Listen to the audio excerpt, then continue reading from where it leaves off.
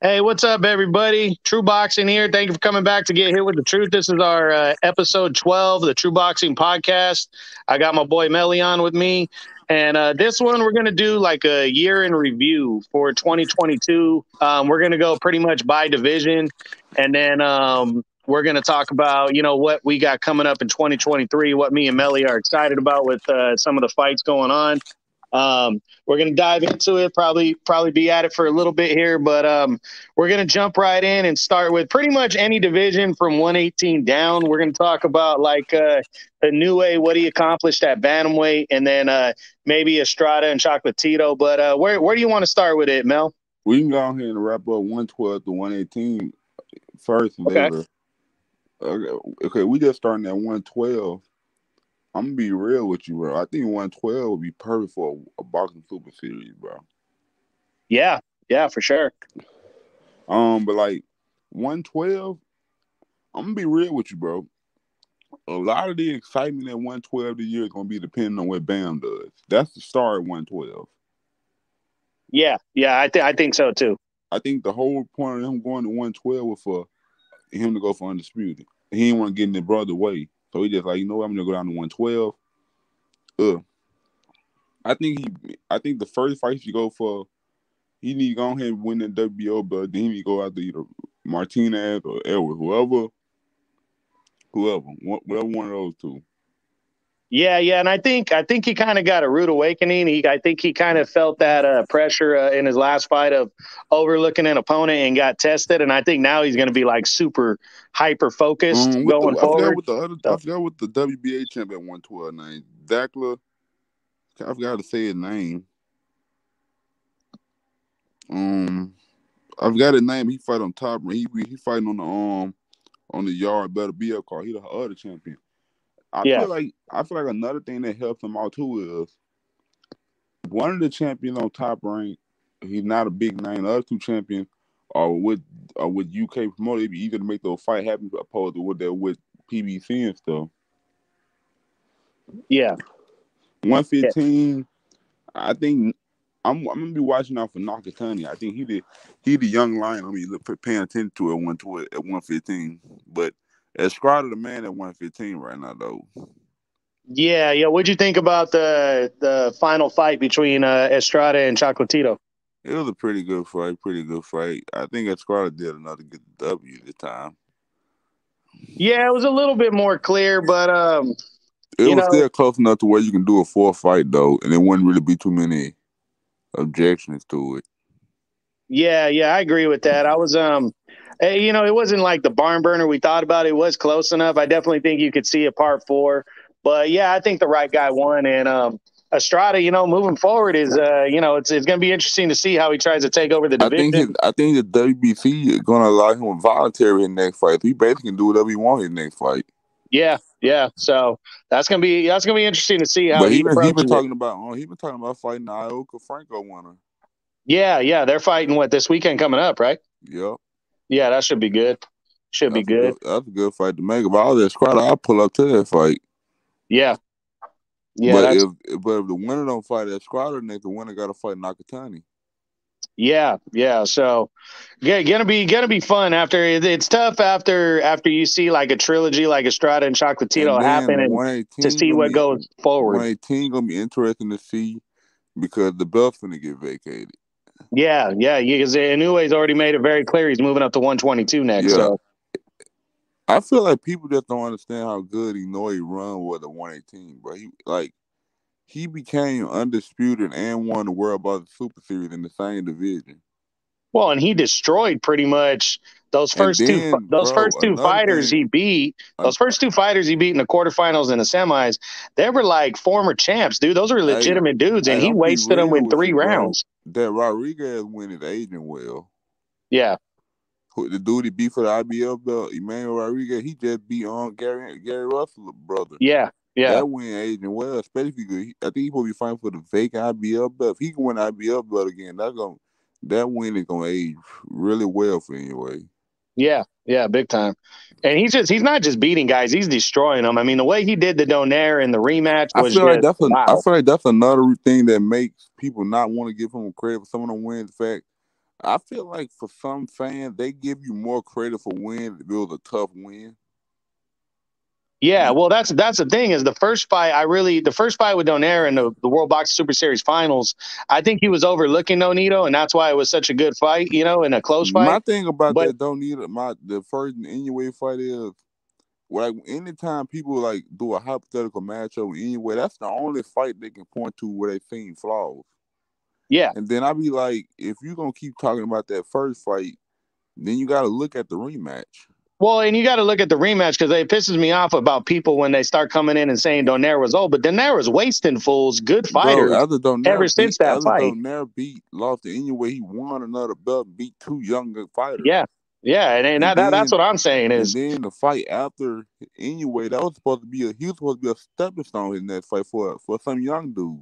Yeah, was that uh Yafai, Yafai, Kai, Kai Yafai like or something? That. Yeah, Filipino dude, I think he like yeah. that, but he he don't never supposed to be a stepping stone for the dude. Yeah, and I think he, I think it was two fourth round knockouts too. I don't even think yep, he let those fights like go that long. Fast knockouts he he had in a row going to the rematch. So it's not like Don Donaire. Yes, yeah. Donaire was older, but he was still fighting at elite yeah. level. Well, and, and Donaire, the one thing I always say this about about older fighters that are great fighters, like they're they're they're they're good is better than and most then, guys greats because they were great at one point. People oh, overlook is even though Donaire was older, bro, he still was undefeated at 118. Yeah, and 118 was always his best weight. You know, that was his best weight when he was when he was coming he trying to so. move down to 115 to fight that squad up. Yeah, and he could probably do it. That's what's funny. So that's a good fight too. I think that's a good fight. Yeah. All right, but, man. Well, we going uh, we're going to get back to Inoue when we talk about uh, 122, but I want to start with the cruiserweight division. That's 200 pounds, man. We'll go through that one real quick. Um, did I know that this division usually doesn't stand out too much in the American fight scene, but uh, did it? Did anything really jump out at you this year at cruiserweight? Um, Jay Opetaia. Yeah, him beating um Briedis, the other good win because Briedis I mean, cause really for for a little for for really damn near like the last year and a half, Jay Jay Opetaia, Okolie, and Briedis been considered the cream of the crop. So for him to be Briedis, that's a big win. I well, feel like a, yeah, I feel like cruiserweight is a lot like 154, which I mean by that is those are from those are competitive divisions. They just need names, like from, from yeah. they just don't have big names. Well, well, cruiserweight's always suffered from the fact that a lot of the guys are European fighters.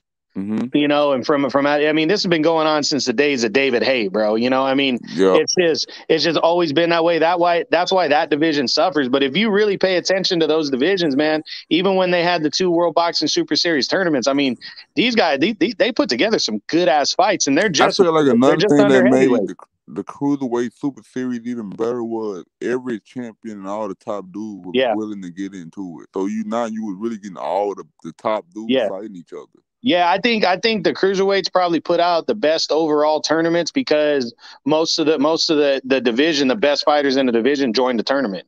So you, you didn't have like that promotional bullshit, you know, where yeah, they didn't join because like there's certain every, promotion. Like basically, the eight dudes that joined were the top dudes in the division. Those were the top yeah. eight dudes in the division. Yeah. Yeah, I know. Opetaia winning was a big win because he kind of came out of nowhere to I upset Brady. He need Okolie needs he needs to sign. Maybe he needs to get a different promoter. I think a good yeah. thing to do would be to sign with Top Rank. Yeah, because I mean, pretty much, there's really no promotional issue reason why between I say that, guys. reason why I say that, another reason why that be smart is because Top Rank Top Rank is basically its own promoter, but at the same time, it's basically like I'm putting a hop in something. It's almost like the American broadcaster for Frank Warren promotion, also. Yeah.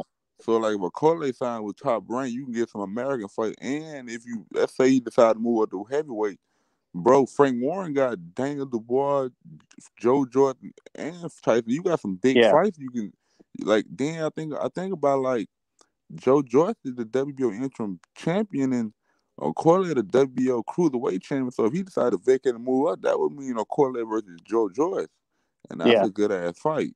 Yeah, well, even even the state, even if he tries to clear up 200, I don't think it would take much because one, all these European dudes want to fight on ESPN, and I yeah, he's, like, he's got to get he's got to get away from Eddie Hearn, bro. He really does. That's what I'm saying. And the thing, I, I think another thing about it, I'm gonna tell you, I'm gonna tell you something else. I don't think these fighters be like you know how you know how they always say like like fighters don't be fighters be don't be checking out the lay of the land. Like you were yeah. just like you were just looking like instance, right? I remember when um when Zurdo was talking about going to cruiserweight to fight Makabu, I was like, bro, that's a smart idea. Yeah. If he would have like lo- he lost the bill, I would be like, bro, I would if I lost the bill, I would petition for that. Like, hey, petition to become Makabu mandatory. Yeah. And then you be Makabu, you can put yourself right back in the play for big fights. Yeah. Well, speaking of Makabu, he's got um he's got Noel Gevor, who, you know, if, if if you don't pay attention to cruiserweight the last few years, this dude uh, you know, everybody made a big deal about Mairis Briedis being the top guy, and he was. Mairis Briedis is one of the best cruiserweights of the last five, six years. But people forget that in the quarterfinals of the first World Boxing Super Series tournament, that uh, uh, Briedis chose to fight Gevor, and Gevor got robbed in that first round. He did. He got robbed in the first round of that tournament against Briedis, and that totally would have turned everything around. Finally, Gevor's going to get uh, his shot against Makabu. I think he's going to beat him too. I feel like he, if he can if he can beat Makabu, he can put him back. He can put him right in position to get yeah. Jay Opetaia or Briedis. I think it's good. Like I think Jay Opetaia out with that jaw injury, so if he can beat Makabu, that's a good opportunity to call out Briedis for a rematch. Yeah, yeah, for sure. And and again, it, it, it's not going to take much to see to see these guys, you know, get together. Like Arsen Goulamirian's a solid ass undefeated. He's a WBA champ.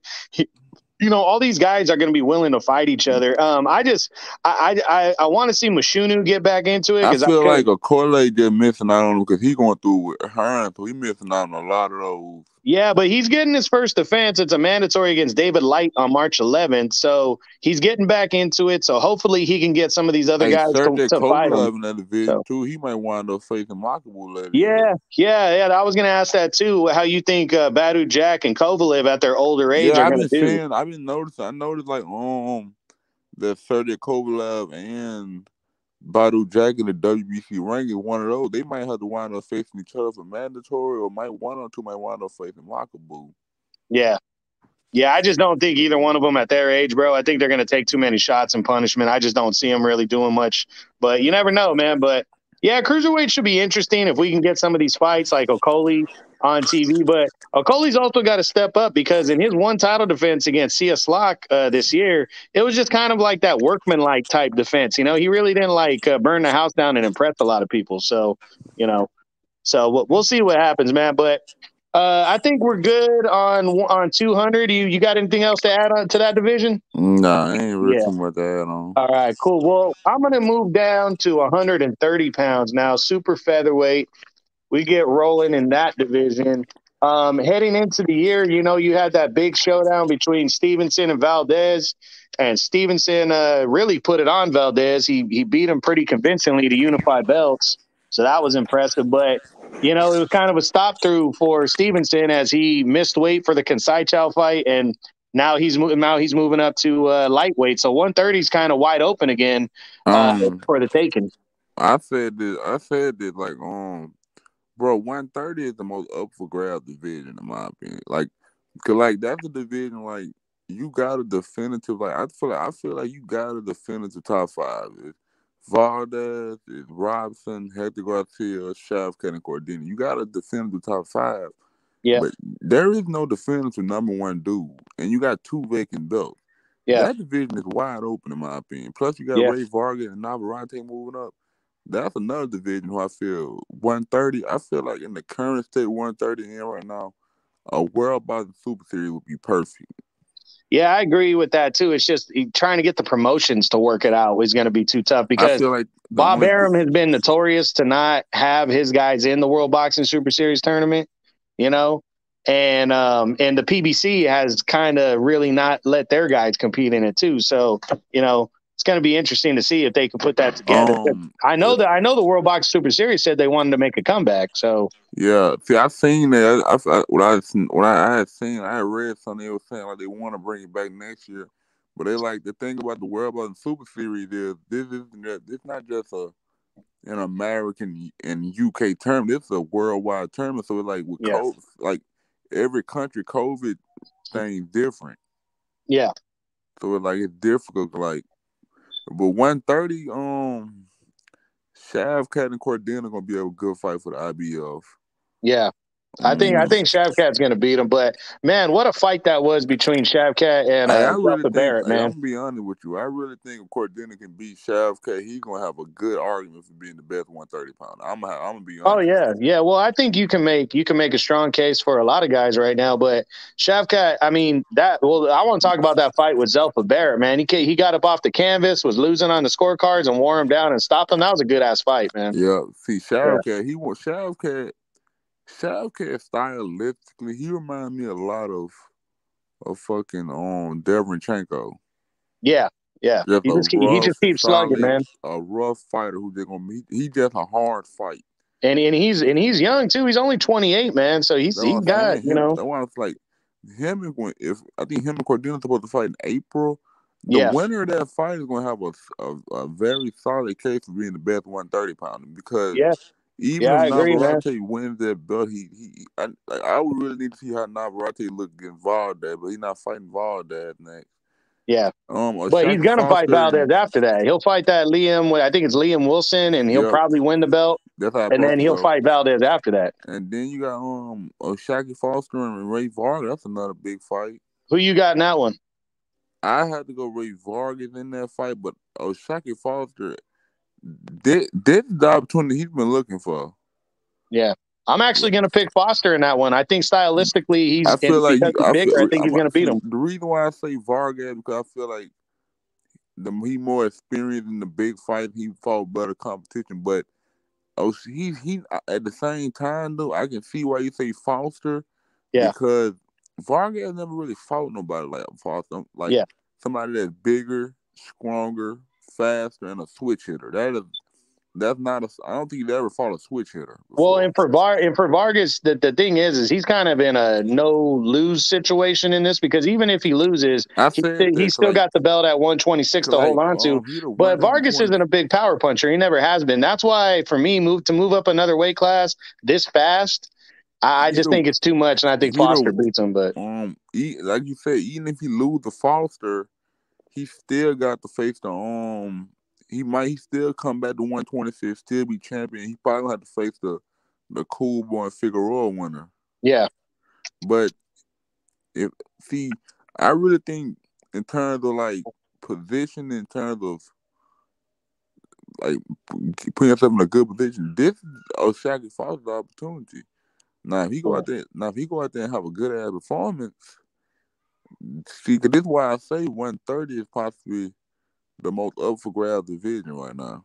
No, I'm with you. I'm with you. And that's why I think it's wide open. It's funny because, like, I personally, just because of what he did against Miguel Berchelt a couple years ago, and because nobody's really come out and taken the top spot, I still got Valdez at number one, but I really think we're going to have a new number one guy by the end of the year for sure. Bro, I feel like, Mo, I'm going to be honest with you, bro. I feel like we're going to have a no, I think Navarrete fighting in February, so that depending on how that fight go, that would that would most likely leave Valdez in May, June. So then you got Cordina, now fighting in April. Okay, what I'm gonna say is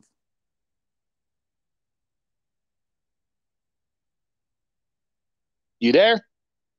Top five at one thirty is gonna look completely different by June. Yeah, yeah, I think Navarrete is going to end the year as as the top guy to me, but but it, it's it's going to be interesting to see, man. See, I think he could, but I feel like Navarrete is in a good position to where he can fight maybe three times next year. If he can beat Liam Wilson, maybe beat Valdez. If he can, I, I would love to say like I would love to see the Valdez Navarrete win the face the Shavkat Cordina winner. Yeah, that's top rank working with uh with working with Eddie Hearn though, so we'll see about that. But um yeah, I mean should be uh, interesting and should be wide open division. So anything else you want to add about 130, bro? Um okay, I'm throw I'm gonna throw one more thing out there. If Loma lose to Haney, I wouldn't be surprised if he moved down to face the face Navarrete Valdez winner. I'm I'm just gonna like if I was Loma, I would keep that in my back pocket. Yeah, yeah, we'll see what's up, man. That that's not a bad idea for Loma because you know he's always been more natural at 130. So see, cause see now, see, like one thing I always try to like, I, like I feel like fighters be too stuck on one thing. They they missing out on a lot of opportunities. Yeah, I feel like a lot of opportunities these fighters be missing. All you gotta do is say, "I want the shot." Yeah, gotcha. All right, man. Well, we're going to move down one division to 126, bro, and take a look at what's happened this past year. We had uh, some guys, you know, I mean, um, like you know, Navarrete really didn't fight much, but he's we know he's moving up to 130, and he's probably leaving the division. Rey Vargas, uh, I, I personally think he's going to lose and stay at 126 and fight the winner of Figueroa okay, and Fulton. Um, I'm gonna tell you, the two dudes at 126 who I feel is going to make the two biggest jumps is going to be Robeisy Ramirez and Mauricio Lara. And I say those two because I think with Navarrete moving up, Ramirez got to have to face either Dogboe, and I feel he's going to beat Dogboe. I think so and too. Lara, I feel, is going to beat Leigh Wood. And then yeah. Josh Warren's supposed to face the winner of that fight, and I think he's going to beat Warrington. Yeah. So yeah. But it should be an exciting division uh, for top ranks. Get really got a couple belts that they can shut down. Like uh, hold up, am I tripping? No, I thought about something too, bro. Mick Conlan and yeah, Luis, um, Luis yeah, Luis Lopez and and, uh, and Michael Conlan are likely going to fight next for the IBF, and then you got Dogboe and and uh, Ramirez probably mm. going to fight for the WBO. You could see those those two guys try to unify by the end of the year. You know, that's a unification. That's, yeah. I and then like the, the PBC's like got some good fighters too. Like I said, with Vargas moving up, but I, again, I think he's going to lose and come back down. Hey, that's one thing. Figueroa and Fulton going to be good, man. Hey, one thing I can say about 126 though is 126 one of them weird divisions in my way. All three promotions got some bangers at division. Yeah. Like PBC got got Vargas, Magsayo, Russell, Figueroa, and Cool Boy and top rank got Conlan and Robeisy and Navarrete and Dogboe and Lopez. And then you got Dog Zone. They got Lara, Warrington, Wood. Like 120.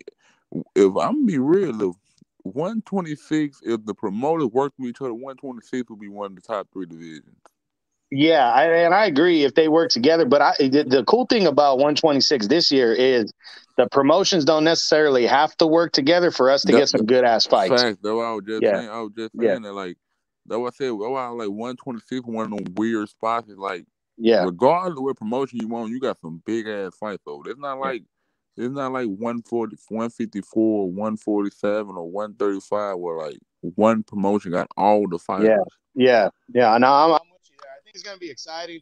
What about um the um do you think Gary Russell's going to make a comeback this year, like a serious comeback? Um, let me try to look at. I'm trying to think. If I was Gary, if I was Gary Russell, I would move up. Uh, if I was Gary Russell, I wouldn't like. If I was Gary Russell, bro, I would not.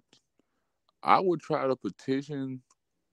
If I was Gary Russell, I would petition the WBC to allow me to face to fight for the man the fight for mandatory spot uh, for the um, I would try to get those Shaggy Foster Vargas one at one thirty. Uh, if I was him, if I was um, yeah Gary yeah. Ross, I think that would make a lot of sense.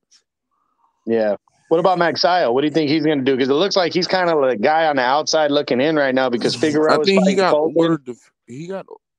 No, we could. Not now that I think about it, they did order Magsayo to face Dogboe. And I don't think Yeah, but I, I doubt so that fight happens. Dogboe is probably gonna end up fighting what's his name? Uh Ramirez for the vacant WBO. Um I don't know what to do, man. I, run running back with Gary Russell, you stay at one twenty six. Yeah, but I don't think he beats him if if he tries to run it back with him, man. Because Gary Russell, Gary Russell almost beat him with one arm, man.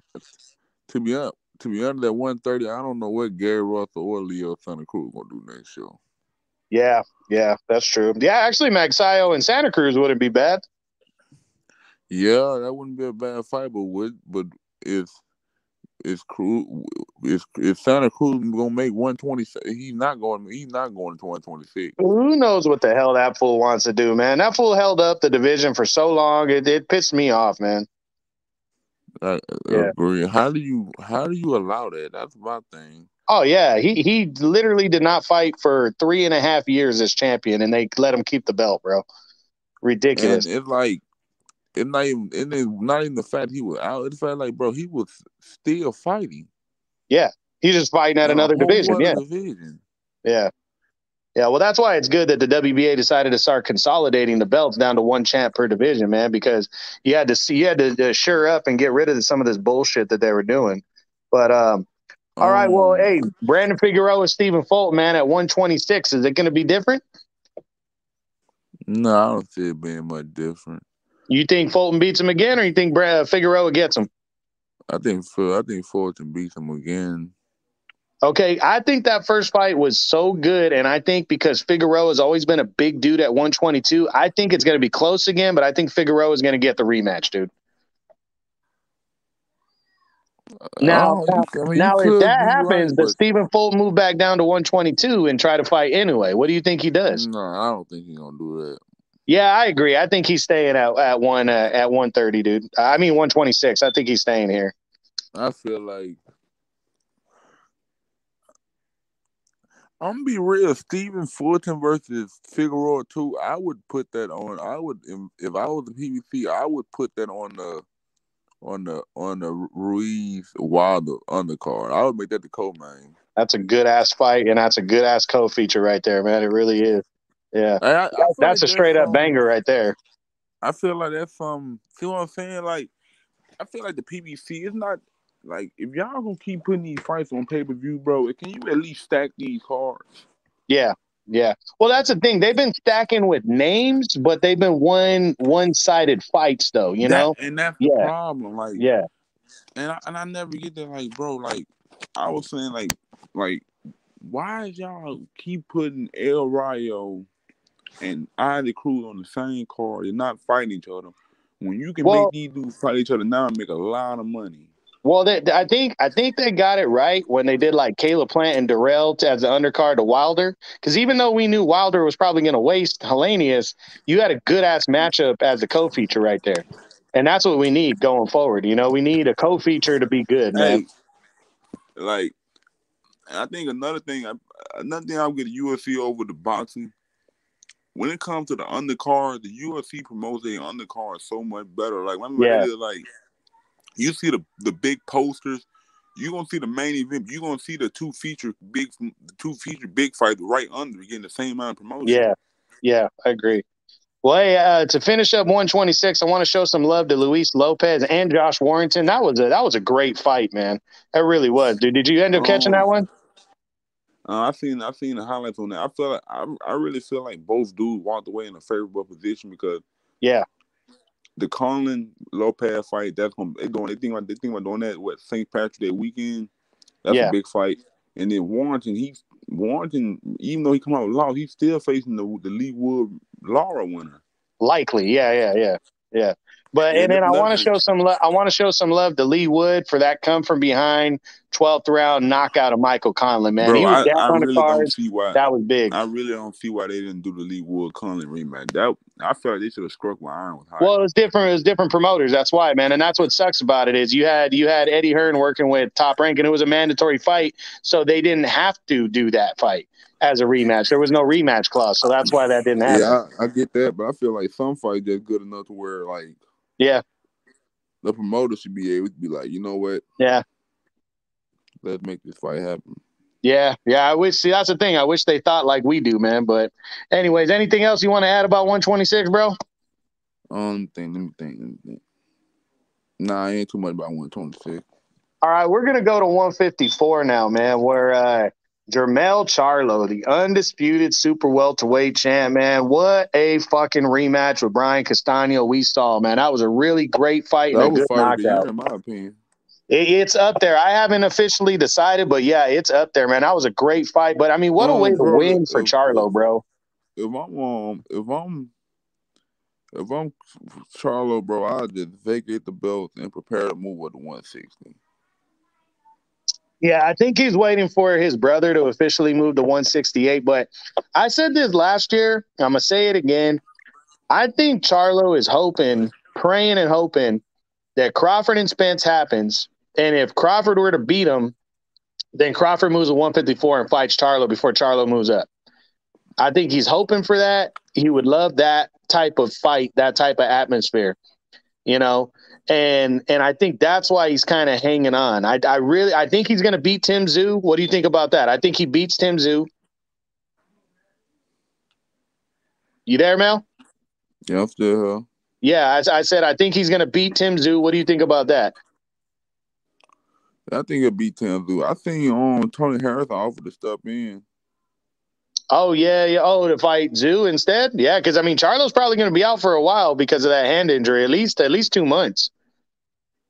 Yeah. Then you got to think about promotion and the PBC already not consistent with fight day. So with that injury, no telling when he might fight. Hey, I'm gonna be yeah. real, bro. March um, it look like March it look like it's gonna be a stacked month. Yeah. And then Fundora, man. Fundora and Lubin tore the house down. That might be fight of the year for me, man. That was a great fucking fight, dude. Oh yeah, Fundora.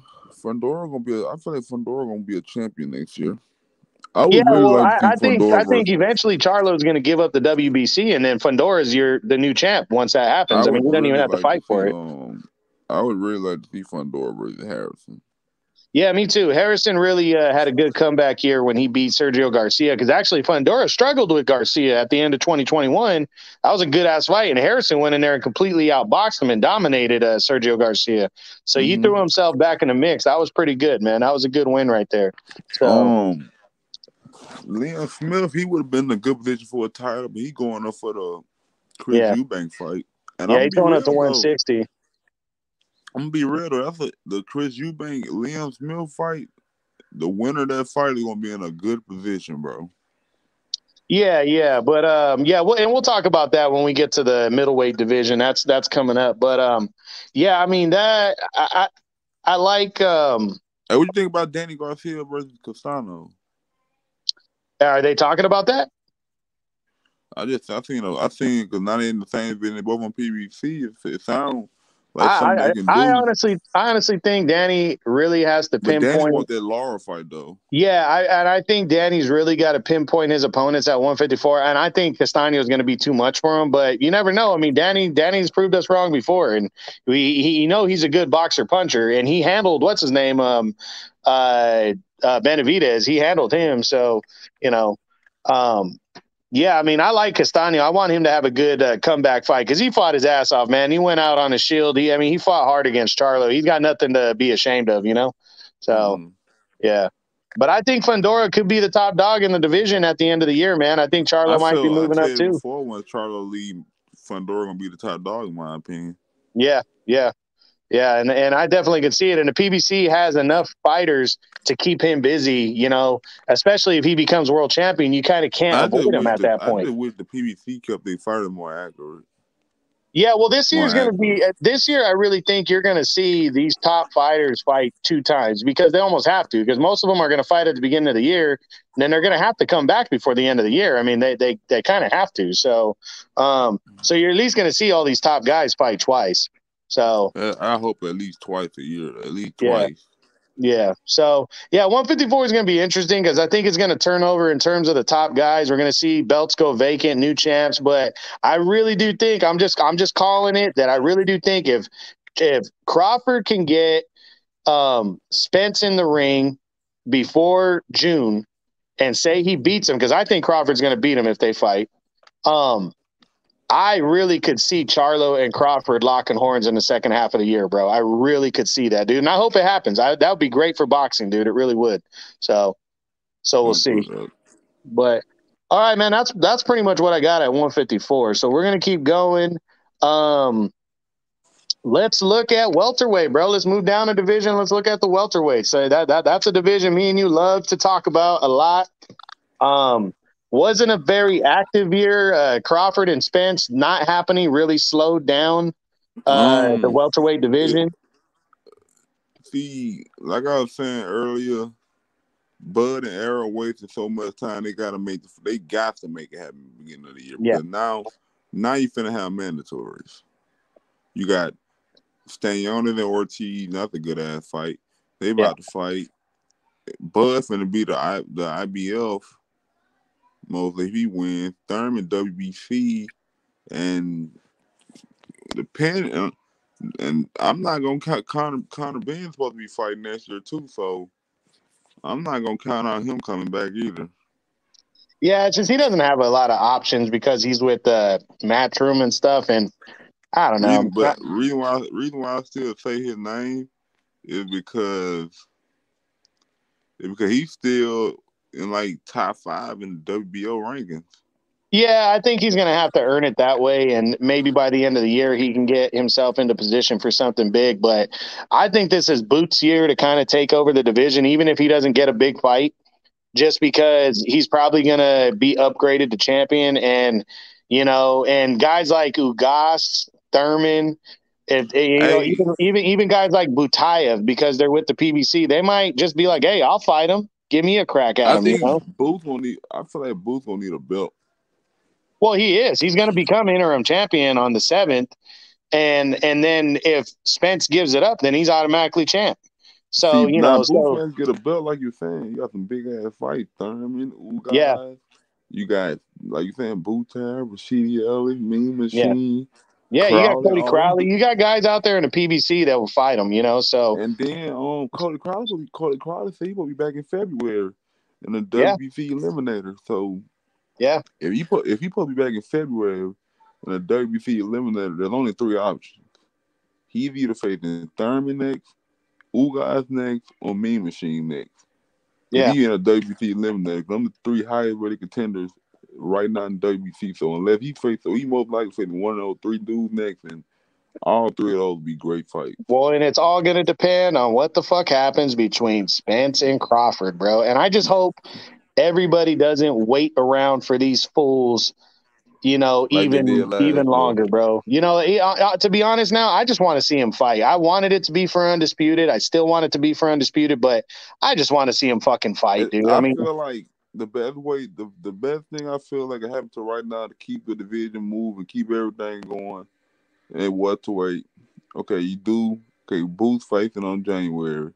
Now, let's say Boots and if Boots and Rashid win their next fight, you put those two against each other. You put Stanionis and, and Virgil. I'll say you do Thurman and Ugas. You do Cody Crowley and Mean Machine, and then you do Errol versus Bud. Yeah. Yeah, but there's some good ass, there's some good ass matchups to be made.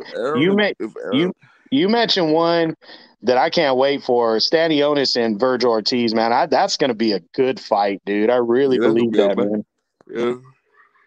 Who, who you picking in that one? I got Virgil winning that one, bro. I got Virgil in that fight. That's a good ass fight, though. If yeah. if Virgil can stop Stanionis, man, yeah. I yeah. really feel like Vir- I really feel like I don't. I, I think Virgil can be a, can be a star. Yeah, me too. Me too. He's definitely got the talent. You know. Hey, I, and then if he, I feel like Virgil doing a good thing for the regular belt. Also, if he wins that belt, and if he in a good position, cause look, if Errol and Bud don't fight, guess what? I get elevated to the champion. Yeah. And then you got Boots as a champion too. I mean, I mean, let's be real, bro. What do we want to see in the future in the next couple years? We want to see Boots and Virgil. So that that's hey, a fight people want to see. Nothing, there's another thing I'm saying. I I, I peeped too about the Virgil and the, and the Golden Boy. I really believe Golden Boy is, is holding off on Rocha and Virgil until Virgil gets a belt. Yeah, probably just to make that a title fight. Yeah, yeah, I, I believe that. Um, well, let, let, hey, let, let's ask the question right now. Do you think Spence and Crawford's going to happen? I'm gonna give it a seventy percent chance of happening. Yeah. Okay, I think you're a little optimistic. I'm I'm hoping, but I'm I'm gonna say reason, I'm gonna say 60 40. And the only reason why I go 70 percent is because, like I said earlier, they're going to have mandatory now. Yeah. So they're going to have to come if they want to fight for undisputed. They're going to have to make this fight happen. Well, me and you talked about it earlier. It's got to happen by June, or or it's not going to be for undisputed. So it's not going to be yeah. for undisputed. Yeah, Yeah. Okay. I want to show some love to Errol Spence though, man. He fucking put hands on Yordenis Ugas. Thurman fight Ugas, my bro. Thurman Ugas. Mean well, I know, but I, I just want to show. I just want to show some love to Errol Spence, man. He put it on Ugas, bro. That was he fucked him up, man. That was a really good performance. People, see, the Errol and Ugas fight that fight there proved to me more how fans be switching their opinions. Like, I remember what people were saying before that fight. Oh yeah, Ugas just be man, he a threat. Errol might not be the same fight. Errol beats the shit out Ugas, not Ugas wasn't that good. yeah, I know. I love how that works, bro. I love how that works. You're always gonna have people talk shit, though, bro. You're always gonna yeah, have. That's that. I know y'all. Just, people yeah. just be saying stuff. They have, to, they have to say stuff about fighters. Like, yeah, yeah. And I want to show. Yeah, I want to show some love to another fight, bro, that happened this past year. Stanionis and Butayev was fucking good. That was that was a, that, that, was, a physical ass fight. Yeah, that was a good that ass was, fight, bro. That was the Butayev. I had this Butayev. This this is why I say about this is what I love about welterweight. Welterweight is the most talented division to where, bro. The top the, the from the top fifteen and twenty dudes will give you problems. Like Butayev, Butayev is like in the top 15 range. He will give some of the dudes in the top five trouble. Yeah, yeah. Stylistically. Yeah. Like, can you imagine Butayev versus Ugas? That is a good ass fight. Well, that's what's good about welterweight going forward. Even when these guys move on, is you got good young blood because welterweight's a historical division, bro. I mean, that's well, always a really good division. That's what I like about welterweight is. That reason why welterweight always been my favorite division because, like, welterweight throughout the history of boxing, has always been a good ass division. Yeah, always, bro. Yeah. Hey, I'm gonna tell you too, bro. The most underrated era of welterweights, bro, in my opinion, is the post Sugar Ray, pre De La Hoya era. When you had the the Zab Judah and the Corey Spinks and the oh yeah and the Mayorgas yeah. and the Vernon Forrest. The that that is the most underrated. Oh yeah, well that that the, I was uh I was telling my wife about that um when um remember uh, the second fight between Judah and Spinks after Spinks won the first fight when yeah. uh he came out to um it's going down uh Corey Spinks did in St. Louis because he was at home and he came out dancing to, to the song and all that shit. And then Zab Judah knocked him out in his own town. I was like, oh man, you people know? forget, bro. People forget. Like, that's why I tell you, like, that's why I said, like, that was an underrated period for what welterweight, yeah. bro. Yeah, underrated like, because those dudes weren't stars like Sugar, like Sugar Shane and and oh, Sugar oh, yeah. Ray and I've Oscar. I've always said but, that, bro. People at their peak, at their peak, Mayorga, I mean, I mean, not Mayorga, at their peak, Vernon Forrest and Zab Judah with problems.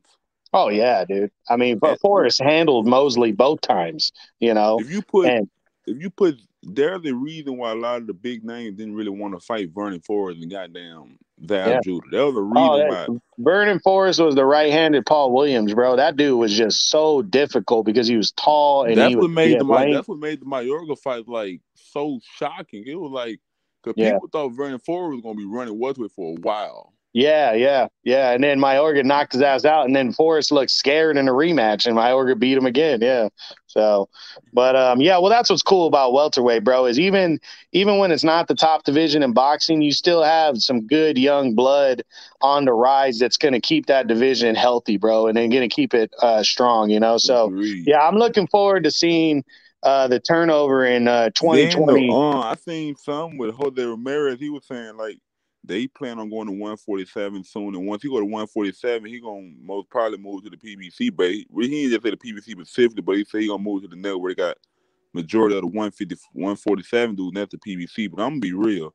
Jose Ramirez get Jose Ramirez get worked at at 147. Yeah, I think so too. But I wanna I wanna ask one question before we move on to the next division no matter what happens between Spence and Crawford, whether they fight, whether they don't fight, do you think these two dudes are staying at welterweight? If they don't fight each other enough, then yeah, yeah. Well, uh, say say say Crawford beats Spence or Spence beats Crawford. Obviously, we'll have a rematch. It probably won't be for all the belts uh, if it's close. But even if it's not close, do you think both dudes move up and wait? I mean, I, I, I see I see them both moving up, bro. I don't know. They're gonna move up soon. Yeah, yeah, I could see them both fighting at 154 by the end of the year, or uh, on the move to 154 for sure. Agree. I feel like if like if, if Errol and Bud don't fight by the by June, they're gonna be fighting at 154 by the end of the year. Yeah, I got you. All right, cool. Well, hey, let's close welterweight on that note, man. But division we both love, man. That was a good conversation about that. Now we're gonna move on to another good ass division. It might be the best division, or at least the deepest division in boxing. We're gonna talk about the lightweights, bro. 135. If so, if lightweight might if light if them do that lightweight can make them fight happen, that's a stack that division. Yeah, yeah, I agree, man. I, I think lightweight's really on the rise, dude. I mean, even with losing you, you know a division's good when you lose Teofimo Lopez and Ryan Garcia, and it's still a good ass division, bro. You know, mm. I mean, I, bro, I, I it's, yeah, it, it's, it's gonna be good to me though. That them dudes don't want to fight Shakur, bro.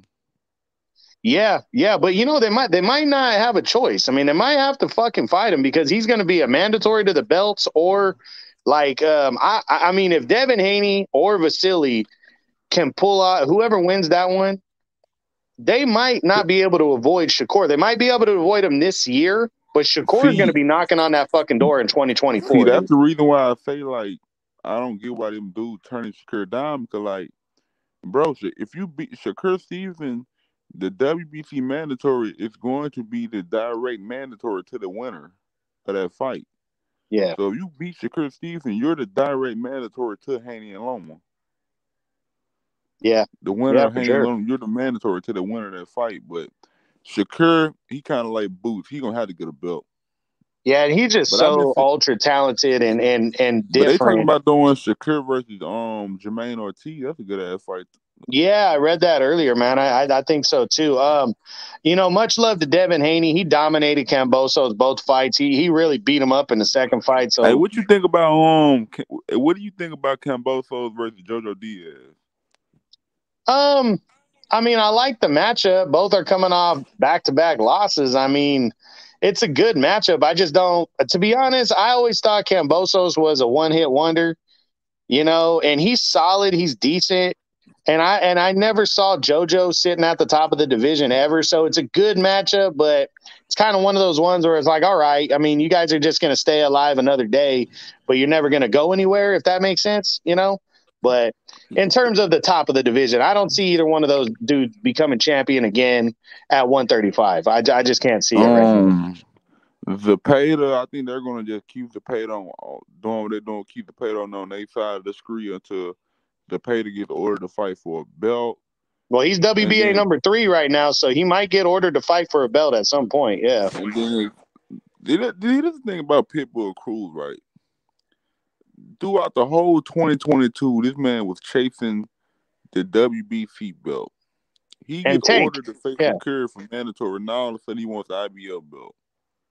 Yeah, I mean, well, and the thing about that that's funny, bro, is he he says that, but not once has he mentioned Gustavo Lemos, who's the number one guy at IBF, and he ended Lee Selby's career. And remember, Lee Selby, he fought Kambosos the two years ago, and I personally thought he beat him. He lost by a split decision. I personally felt he beat Kambosos, but it was a close fight. But Gustavo Lemos dominated Selby and stopped him in five rounds and retired Selby. And now he's the number one contender. I don't hear Pitbull calling out Lemos, bro. Bro, Pitbull. You know, Pitbull's see, pissed me Pit, off this year. See what Pitbull really want, he really wanted to get that Tank rematch, but Tank next two fight is sold up and cruising in a position, cruising in a position where nine times out of ten he probably got to, to get the Tank fight or even get a belt. He's gonna have to fight one of the top dudes.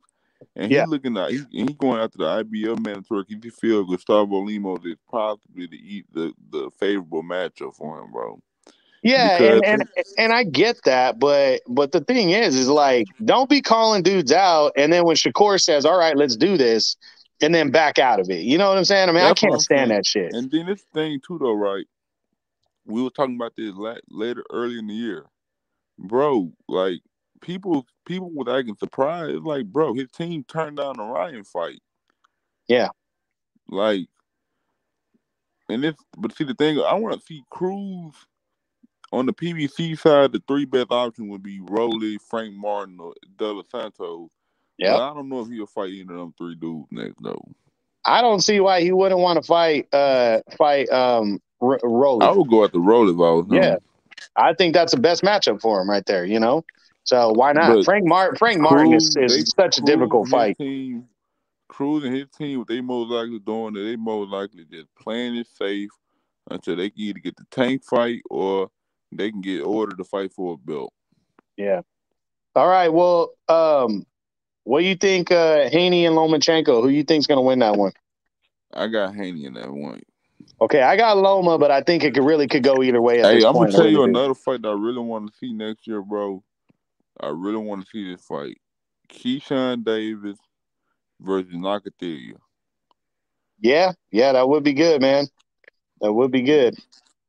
Um, another the another huge matchup if it's still going to happen because we don't know with Tank Davis being arrested and all that shit. But uh, you know, reportedly Tank Davis and um, Ryan Garcia is happening at a catch weight of 136. It looks like April or May. Who you got in that one if they do fight? I got I got a 60-40 Tank. I give Ryan a way better chance of winning than people think he does. I think I, I honestly, I, it's nothing against Tank. I, have always said Ryan stylistically, uh, the fact that he's a body puncher, the fact that Tank can be hit, and the fact that Ryan is about four inches taller, and he's the bigger guy. I, I, I honestly don't see what everybody sees by picking Tank, but okay, I, am not saying Tank don't have a chance of winning. I just think Ryan's going to beat him.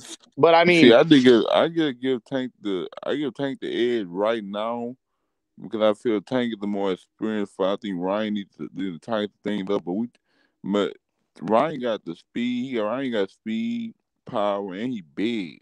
Yeah. Yeah. I feel um, like that's um, a big reason. I feel like that's a big reason why Tank wanted to fight at 136 because yeah, Ryan's a big guy. Like he yeah. And the thing about Ryan is he's not even close to his prime yet, so he's still growing.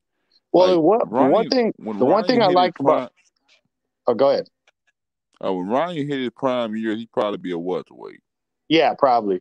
Um, the one thing I like about Tank right now, though, like kind of taking the decisions of his own career. Again, then I'm, I'm trying to push aside his personal shit that could cost him. It really could, but if he gets his personal shit on track and just focuses on his career, and he's got Mayweather out of the picture now, um, if he beats um, t- uh, Ryan, he's still going to fight at lightweight, and I really could see him locking horns with uh, Loma, the Loma Haney winner, because he's the WBA regular. He could ask for a mandatory right then. Oh yeah, you know.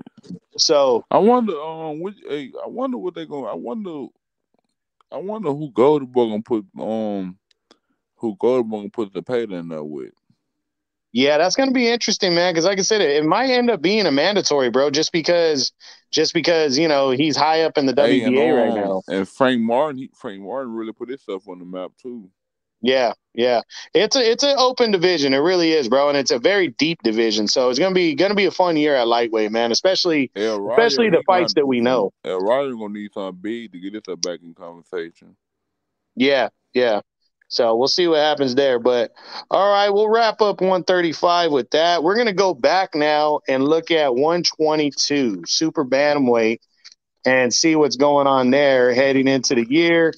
Um, wasn't really a big year in terms of big fights at uh, at 122, man. Kind of disappointing year, but Stephen Fulton proved showed everybody why he's the best there. Dominated former champ Daniel Roman, actually retired Daniel Roman. Uh, Daniel Roman retired after the fight. Um, that was impressive.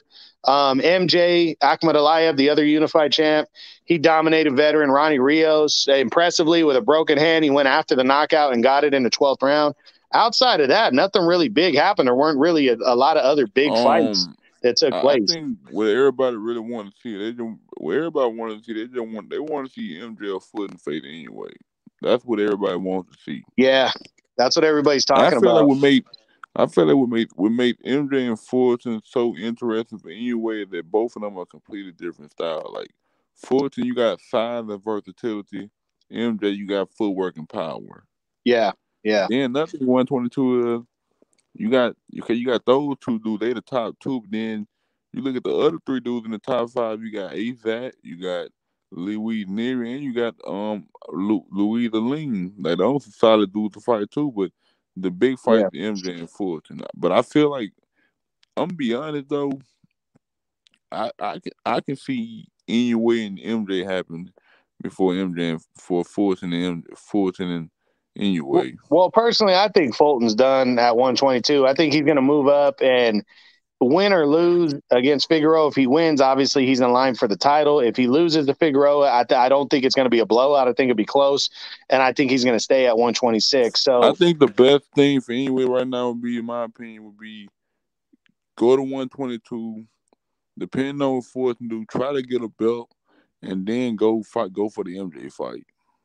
Yeah, yeah. I mean, that makes the most sense. I could see, I could see Inoue um, fighting MJ by the end of the year, or at least having one or two belts by the end of the year, which is going to be big for him. You know, it really is because man, Inoue is, is a lot of people watch him, man, and, and a lot of people have him ranked number one pound for pound right now, dude. You know, if so he can go up to one twenty two. I say like he went to one. He, he can go to one twenty two, win a belt, and I say he can beat now, 122 got some good fighters. Got some good fights for yeah. him, though. You got Fulton, MJ, Isaac, Casimero. There's some good fights for him at 122. Yeah. Well, and even Liam Davies just uh, put himself on the map when he beat uh, Ionut, uh, Ionut Baluta. That was a pretty big win for him. So, yeah, there's some good there's some good fights there, and then some solid veterans. So we'll see how 122 turns out. But I definitely think it's going to be the year of the monster, bro, at 122 for sure. So, so um, yeah, uh, I think I think that's good for 122. Now we're gonna move over to middleweight, man. This is the division me and you've been complaining about for for a minute ever since me and you started talking. Uh, 160 pounds. Um, you know, it, we're losing Boo Boo Andrade, which I'm glad. Uh, we need to get rid of him finally. He's moving up One, to 168. Um, 160 needs a big fight so bad. It really does, man, and and it, and it's disappointing because it doesn't look like we're gonna get it anytime soon. Like Charlo's probably gonna be gone. Um, Triple G is still the man. He, but his two mandatories, he's got to fight Falcao first, which is not a big fight. And if he gets through that, then he'll he'll be in line for Lara, which is a good fight, you know. But I think people because both those guys are forty and thirty nine years old, I think just people want to see guys like Munguia fight, but Munguia doesn't want to fight nobody, bro. Munguia don't want to fight nobody with a pulse. I know, man. It, it's it's so fucking disappointing because he had such a good, like, promising 2021, bro. That he comes out and fights three times in 2022, and it was just like the guy, the best guy that he fought, beat another guy, you know, to, to you know, in Jimmy Kelly. That was the best dude that he fought, and that dude wasn't even that good, you know. So bro, yeah, and then I don't know what they. I don't know what Bob and Aaron gonna do with Janibek. Yeah, yeah. I mean, he he really doesn't have a lot of options in the and with top rank. And then one sixty in general is just like one sixty just needs a big fight. It just needs a big fight. Well, there's good fighters there to make big fights if the guys actually wanted to fight each other.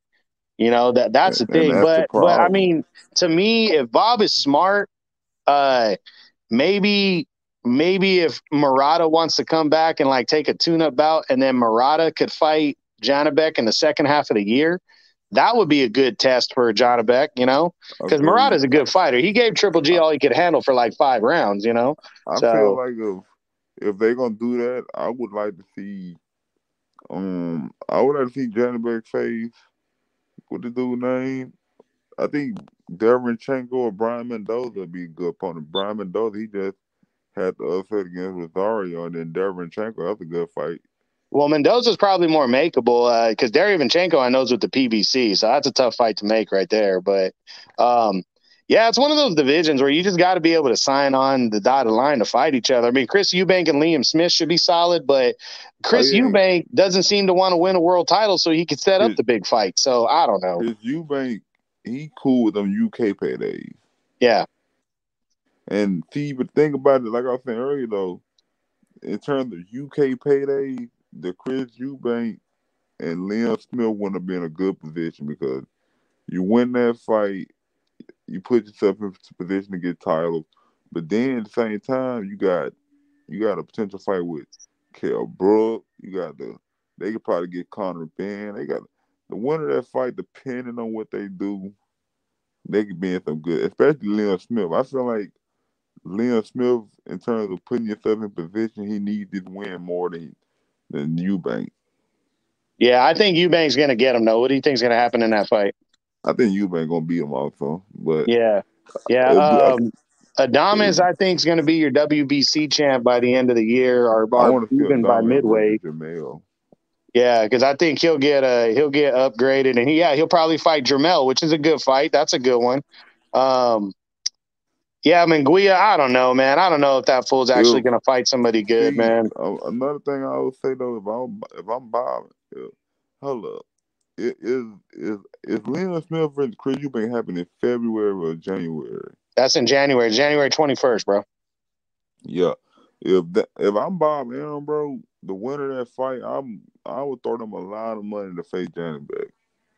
Yeah, Especially, yeah. Well, I mean, I mean, Eubanks, the WBO's number two contender, and what's his name, Munguia was is still technically ranked number one. And he passed on the fight, so Eubank feel, would technically be the mandatory challenger.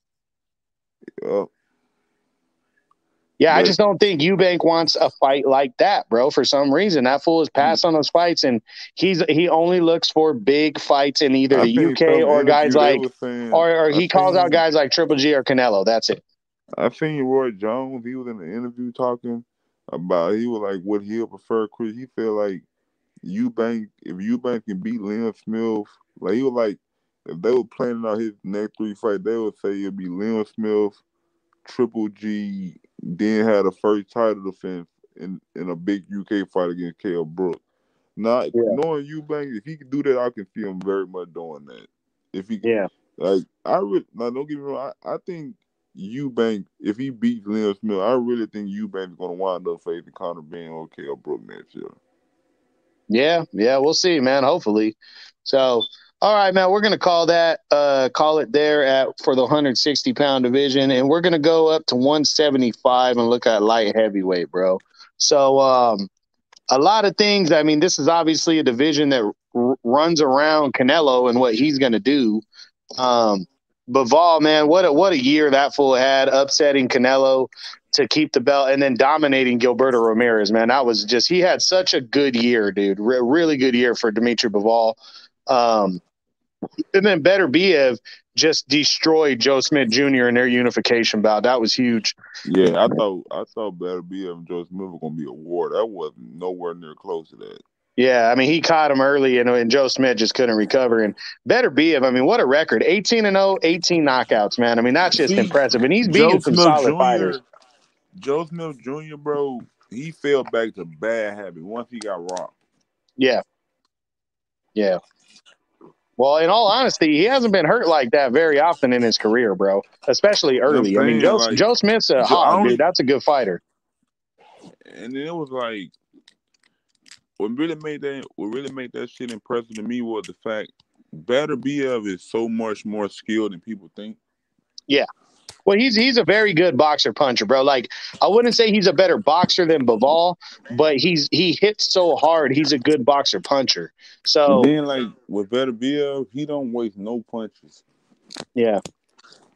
Yeah, well, I really would love to see Bivol and Better Beterbiev, bro, for the undisputed, but I don't know if Bivol's willing to take that risk before Canelo, the Canelo rematch, you know, um, and um, that's what's interesting. So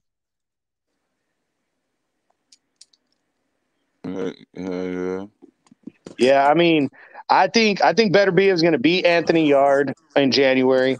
Even though I I think Anthony Yarde's a very live underdog, bro. I don't think people should count him out of that fight at all. Um, because he hits hard and he can box a little bit too. Um, outside of that, I mean, Beterbiev the remainder of the year if he doesn't fight Bivol.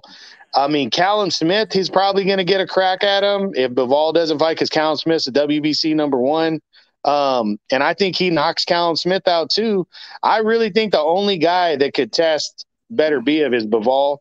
And to be honest, I think the only guy that can test Bivol at 175 is Beterbiev, bro. And because the Canelo rematch is looming, I don't know if these two guys fight for undisputed. What do you think? I can see Um. Okay. Think about it is. Okay. Beterbiev in January, and then I think he started that Ramadan stuff right after that. So he probably not gonna fight till maybe summer 2021, 2023, I'm gonna say. And by then, I think Bill gonna have a fight in the first half. I think he might wind up fighting Callum Smith for Buatsi. I think he'll fight Buatsi. Yeah. And he fight Buatsi, that's not a good win. Honestly, I don't think Buatsi's that good, man. I think Bivol's gonna kick the shit out of him, to be honest. Of so. course, but shit, looking at the rankings, that's a good win ranking wise. Yeah, yeah, it is because especially Buatsi being ranked so high and he's undefeated too. So, um, yeah, but I mean, the one, is it Yeah. Beterbiev that's what need to get made. yeah, um, but I mean, to be honest, I, I it, that's another. It's almost like welterweight right now. Is if they don't fight in the first half of the year, they're both going to be facing mandatories, and it's going to be really hard for them to fight in the second half of the year And or even about second half of even until 2024, Because hard 'cause- second half of the year he want to fight Bill second half of the year, so Yeah. Well, and it's shitty because man, like the IBF mandatory is going to be John Pascal or Michael Eifert, bro. Like either one of those dudes would stand a chance against fucking Beterbiev, dude. like why they didn't I don't know why they didn't order Pascal or Joe Smith. That would have been so much better. Yeah. But but I mean, I think most people would be convinced that Joe Smith probably wins that. And you think Beterbiev wants to fight Joe Smith again? I mean, probably not. It's just the thing is, is you know, Pascal is just such a that's such a waste of time fight for Beterbiev if he becomes mandatory, bro.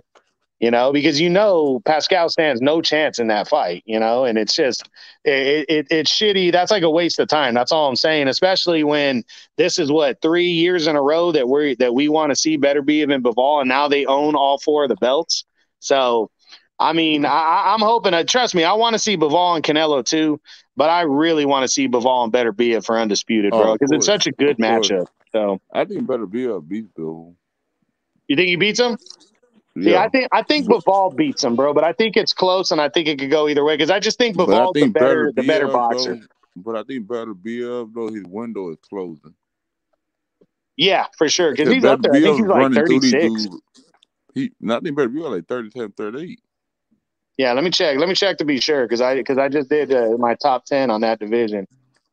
Yeah, he's 37. Yeah, Yeah, know what I'm saying. Beterbiev. His window is closing. Like he running through these dudes. But if we being technical, man, Beterbiev getting up there. yeah, yeah. But the and Anthony Yarde, that's a tough. That's gonna be a good fight. If, I I don't I got Beterbiev, but that's gonna end in knockout. Yeah, for sure. And and Anthony Yarde, I think he's actually more of a threat than Joe Smith, to be honest, because he's he's a better boxer. That's why than Joe Smith. Hey, if he beat Anthony Yarde, that's another good name on his resume. Oh hell yeah, hell yeah. All right, Like, man. Let's close uh, 175 at that, and we're gonna look at 140 pounds. And me and you have talked about this division this year. This division just got caught fire this year, bro. In I 2022. See, 140. I expect Devin Haney to be up there for in the second half of the year. Yeah, he um, might. Yeah, definitely. Yeah. Right now, I would. Right now, I would have Prograis as the man. Right now, if you had to ask me like who I think is the man at 140 right now, I would say Prograis.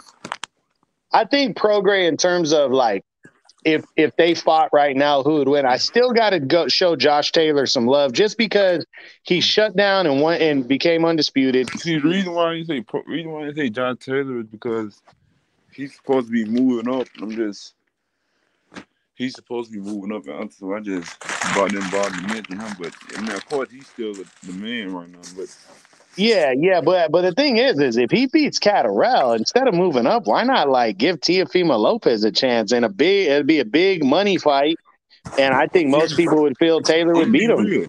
I'm gonna be real. You, you can tell you another reason why Jose Ramirez didn't want to fight Prograis.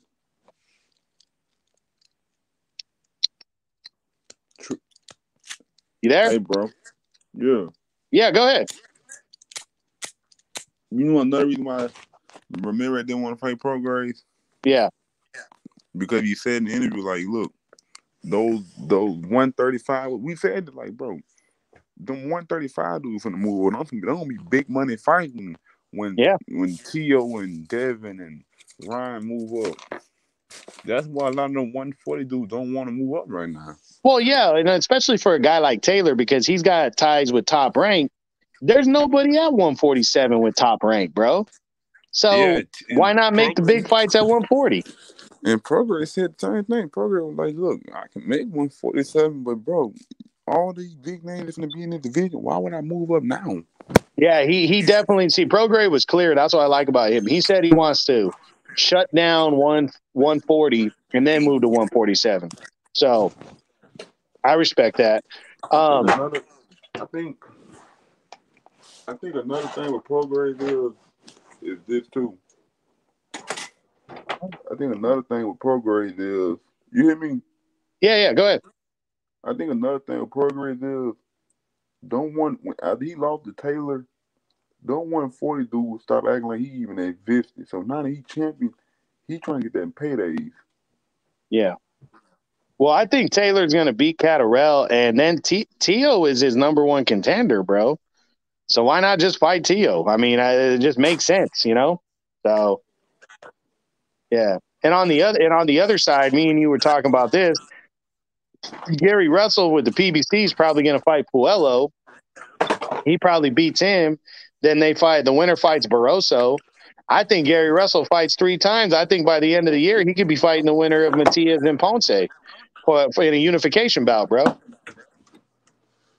Hey, I wouldn't count that out. Yeah, yeah. I think 140 is going to be uh, a lot of big fights and a, and a lot of excitement in 2023. The same thing. Like, think about this, right? Think about this. Like we were talking earlier when you have those divisions that don't really have big name, no divisions. Like 140 was a competitive division, it didn't have big name. But now you're yeah. getting the Devins, the Ryan, the Tanks, the TOs in the division. Now you're getting eyes in that division, not money in that division.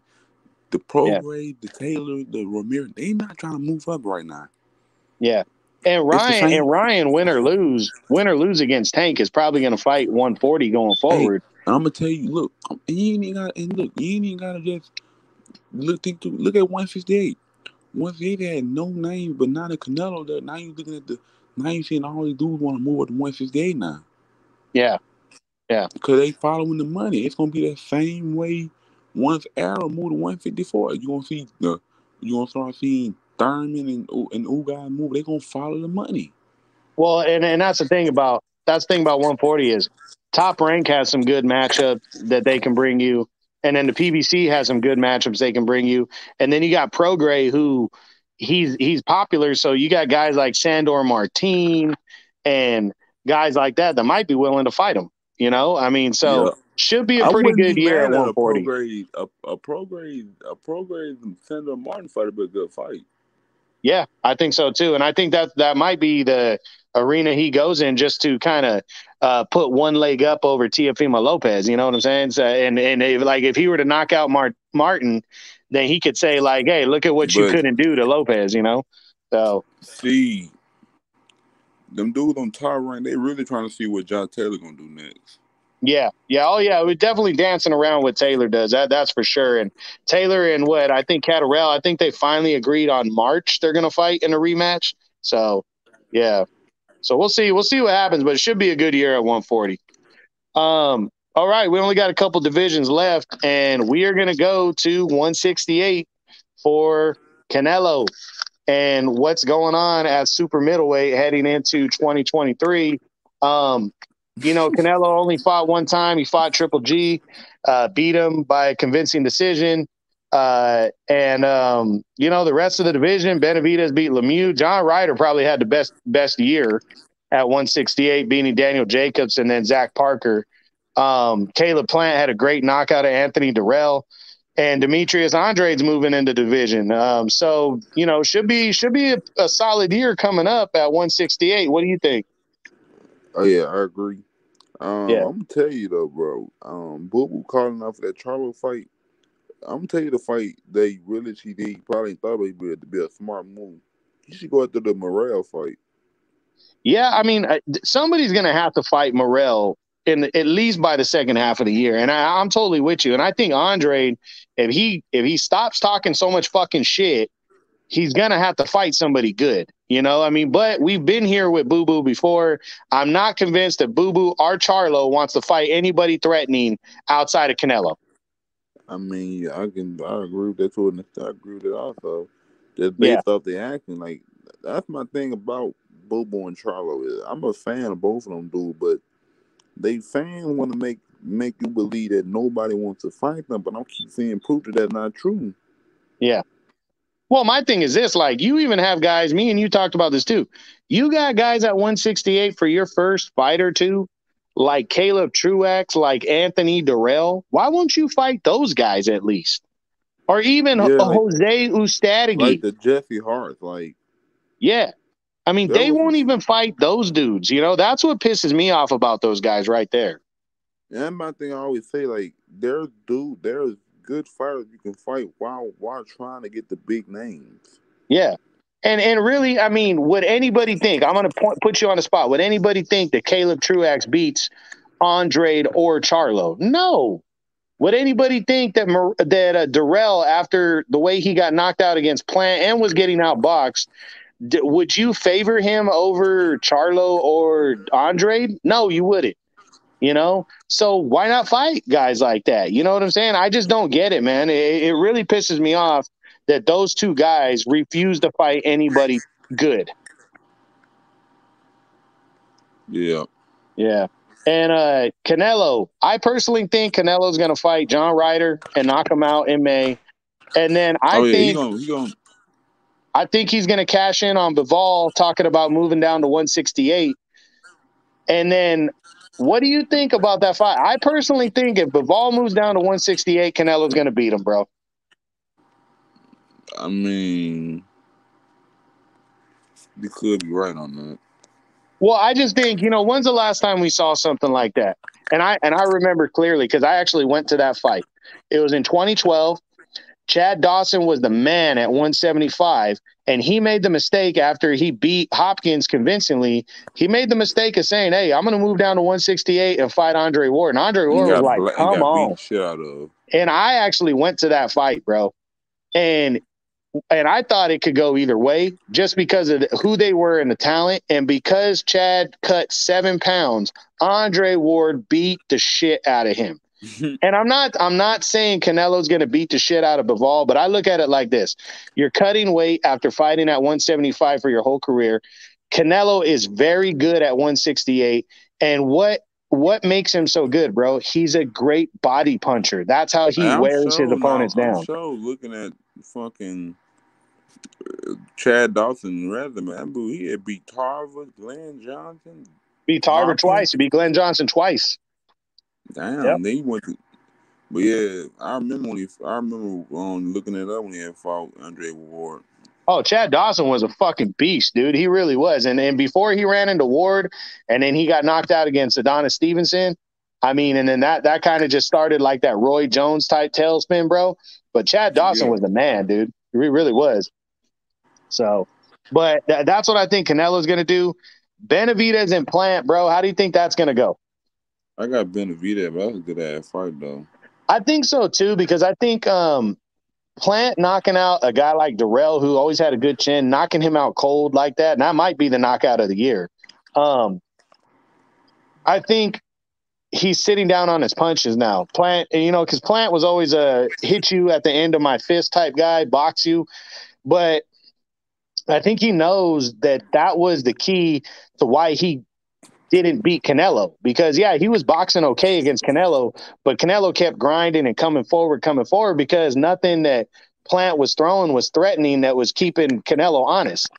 Now, the way he knocked Dirrell out, I think he's gonna he's gonna try to sit down on his punches a little more with Benavidez, but I just think Benavidez is too good for him too. I think Benavidez is gonna knock him out, but should be it's a good matchup. No, I mean, nah, it sucks Benavidez that these fools are finally out. fighting nah. for an interim belt when they could have uh, unified belts years ago. You know, nah, Benavidez knocks out Plant. That's gonna be a statement. Oh, big time, bro. He's gonna be there. Canelo's gonna have to be like, hey, by the end of the year, if Canelo beats Bivol Canelo's going to have to fight Benavidez in early 2024 or he's gonna have to vacate, bro. That's just there's there's nothing else to say, you know. So oh yeah, better be. I mean, Benavidez be playing. If Benavidez beats Plant, everybody you know what the fight everybody gonna be calling for. Yeah, they have to, and and you know, and maybe Benavidez can keep himself uh, keep himself active. Maybe Charlo or, or Andre finally grow some fucking balls and will fight him, or Morrell. But you know he, that might be taking too much of a risk for for him then. But um, you know we'll we'll we'll see. But a uh, couple other guys, Daniel Jacobs. Do you think he's gonna make a comeback? I don't know, man. Ever since he married that actress, bro, he just doesn't um, seem interested in boxing anymore. I really, I really can, I really can see Daniel Jacobs and, and Eric Berlanga facing each other. Yeah, that would be interesting. yeah, they both from New York. It'll sell. Yeah, yeah, that would be interesting. I, I didn't think about that one. It would be interesting. So and uh, I think that's pretty much it, man. I don't really think there's much else to say. Uh, you know, I, I liked uh, Shishkin's win over Uzcategui um, a couple hey, weeks Shishkin, back. I was the Shishkin dude. I think he might face Morrell next. Yeah, yeah, he might because they're both PBC, bro. So, um, yeah, so I think we're good at 168 now. So the last division, and people might not consider heavyweights the best division in boxing. Maybe it is, maybe it isn't. It's definitely one of the top two or three, but I love the heavyweight division, bro. I grew up on Tyson and Holyfield and Lennox Lewis, and I still think the heavyweights are great, dude. There's so many good names at heavyweight. Oh, yeah, and um, heavy, I, I, have said this before. This this is actually a good era of heavyweight. The only problem is majority of them haven't fought each other. Yeah, yeah, but but that's the thing is you got a couple of the dudes that are at the at the end, and then you got some really good fucking heavyweights on the rise, bro. And I think a couple of them are gonna cross pass, you know, like the older against the newer, but then you're gonna have the newer is gonna have to fight each other. You know what I'm saying? And there's enough guys to where that's gonna happen, bro. So, you know, Tyson Fury, obviously the top dog. I, I'm so glad and I hope he sticks to it that he is gonna stay fighting you know, for as long as he can, because it looks like him and Usyk are going to fight. They've already agreed, which means they've already agreed in principle. They're looking for places for the fight. That means they probably have paid off their mandatories, and and they're going to fight for undisputed. I think Tyson Fury is just too big for Usyk, so I think he's going to beat him. What do you think? I, I got I, it, that's a 50-50 fight, but I think Fury's gonna get the edge. I got I get Fury the edge. Okay. So if that happens, um, then you got Wilder and Andy Ruiz, bro. And I, I like Andy Ruiz, but I think Wilder's gonna knock him out, bro. I really do. So, um, what do you think? Yeah, I think I think I think Wilder knocks him out in ten. Okay, so here's the scenarios I'm looking at after that. So those are the two biggest heavyweight fights that we got on the horizon. Now, every title, bro, at that point, all the mandatories are going to be due. So um, Deontay would be in line to fight for the WBC. And then Daniel Dubois is the regular champ. They're saying he's probably going to make a mandatory against Michael Hunter next, which I think he beats Michael Hunter. Um, he would be in line for the WBA. Joe Joyce is already the WBO interim champion, so he'd be in line for the WBO. And then Filip Hrgovic is the mandatory in the IBF, so he's in line there. I personally think after becoming undisputed, Tyson Fury is not going to give a fuck about holding on to the belts. He's going to look for the biggest opponent. And who's the biggest opponent of those four? A fourth fight with Wilder. Now, I think he's either going to go after a fourth fight with Wilder or a showdown with Anthony Joshua finally. That's I what I think like he's going to do. I feel like after the Usyk stuff, if he walks over the belt, he it's going to be only three dudes he's looking to make a fight with. That's going to be either Joe Joyce, Anthony Joshua, or, or Wilder. Yeah, that's the thing is, is I know he said that he would fight Joe Joyce, but I really think he meant like I'll fight him if I don't have any other options.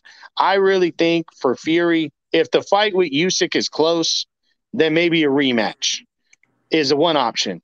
Then there's Anthony Joshua two, and I think Deontay Wilder a fourth fight, bro. I mean, the money that those fools are going to generate, it, it's just you can't pass it up. You know what I'm saying? And especially after the way the third fight ended, that was a great fucking fight, dude. You know, he, that was that was one of those all time heavyweight fights. For Wilder to get a third fight with, for a fourth fight with with Fury, he would have to run through Ruiz. And I think he's going to. Stylistically, I just think he's going to hurt Ruiz early and knock him out and get him out of there. I really don't think Andy Ruiz is going to pose much of a threat, even though he's a big name, bro. You know, but here's that. That's also the flip side, bro. Let's say Andy Ruiz pulls out the upset over Wilder, right? Let's say he does. Is he still not the biggest name of the four mandatories, bro? Because he beat Joshua. He's got a huge name. So Fury would be like, yeah, I'll fight the fat boy. Uh, you know that's oh, what yeah. Fury's going to say. Ruiz beat, beat Wilder, I can uh, absolutely see Ruiz versus Fury.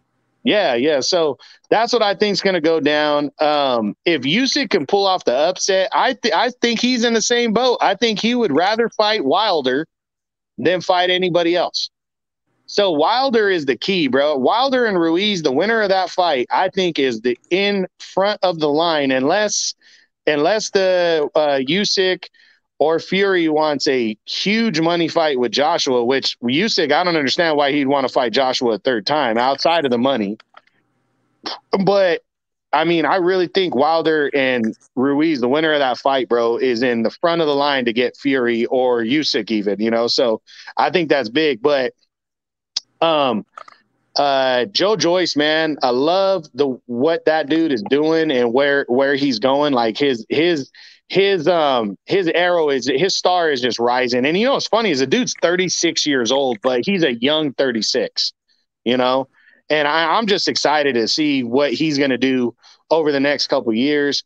Um Joseph Parker, you know, he lost to uh, uh, Joe Joyce, but isn't he? Who's he fighting next? Isn't he fighting? Um, he's fighting some undefeated guy on the rise, so he's got a chance to throw himself back into it. He's still young; he's only 29. Um, uh, you know, Dillian Whyte still banging around, you know, and then you got uh let me see, Daniel Dubois. I mean, the dude got knocked down three times against Lerena. I think he just got caught off guard and hurt quick. But I mean, Dubois and Joe Joyce was a fucking burner a couple years ago when they fought, bro. That was a great fight. So um, the division is definitely on the rise. Heavyweight is definitely, you know, we're going to see some good ass matchups, in my opinion, in 2023, man. I agree. Yeah. So, um, uh, so that's it, man. We wrapped it up. But uh, hey, between me and you, man, just just let let, let let's talk. What uh, what do you think the best division in boxing is overall, bro? What what, what do you think? Oh, overall, I gotta go to one forty seven. One, I I can't I can't say you're wrong about that because I really think there's like a like three division. I I think it's welterweight, lightweight, and heavyweight. No, in terms like of in terms of deep and big names. I feel like maybe one of the most underrated divisions would probably have to be 154. I think 154 and 140, bro. I think are like the two divisions where you're like, oh shit, they got a lot of good ass fighters there, you know. So yeah, no, nah, I'm I'm with you, man. I personally, in terms of star power and deep, I I think heavyweight because of star power, but also 135 is fucking super deep, dude, in terms of talent, bro. You know, so it's just uh, I think boxing heading into 2023 because we had like the Crawford and Spence fight really held the, the PBC up, and the PBC has a, a a big chunk of the big name fighters. I think that held up the PBC schedule, and I think now it's unavoidable that the PBC you're going to see most of those top guys fighting twice this year, and I think boxing is just going to is going to have a really good year, in my opinion, in 2023. I think we're going to see a lot of big fights that we've been wanting to see, and um, and I'm looking forward to it, man. We're going to see some more undisputeds. We live in the we live in the era of undisputed right now, bro. Everybody wants to be a four belt holder. They want they want that credential. So I think we're going to see a couple more undisputed champions in 2023, man. You there, Melly? Yeah, I'm still here. All right, brother. Um, Anything else you want to add, man, before we wrap it up? No, not too much to add, my guy. Yeah, all right, man. Well, hey, we're gonna come back uh, next, either next week or the week after. We're gonna hit everybody with our 2022 boxing awards. Uh, me and Melly gonna chop it up about those. and uh, put our heads together and, and vote on what we think um, were the biggest, you know, just a bunch of different awards, probably about 12 or 13 awards. And it should be pretty good. And then we'll get back to our normal podcast after we do that. But um, I appreciate you guys listening. This was episode 12 of the TRU Boxing Podcast as we did a recap of 2022 and a preview of 2023. So uh, you guys stay up. Have a good new year. Melly, man, if me and you don't chop it up, bro, have a good new year, man. Be safe out there. And we'll uh, we'll get together in 2023, man. All right, my guy. You have you be good. All right, bro. Have a good one, man. I'll see you guys later. TRU Boxing. You've been here with the truth.